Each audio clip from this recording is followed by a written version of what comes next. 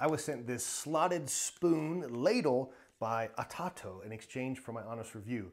And here it is. First of all, every single product that I've seen this company come out with has been so cute and fun, eh, especially this. So usually if you have a ladle, especially one with holes, they don't look nice. So you just stick it in your, wherever you keep them in the drawer.